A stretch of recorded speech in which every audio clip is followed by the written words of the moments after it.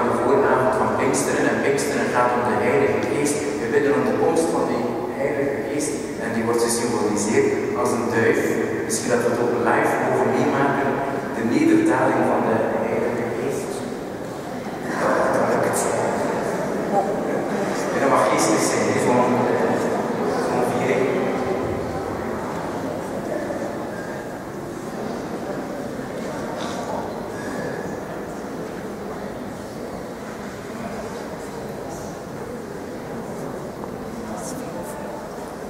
De nederdaling van de Heilige Geest was een duif, zachtjes landt en boven onze hoofden mag vliegen om ons te begeesteren, te inspireren.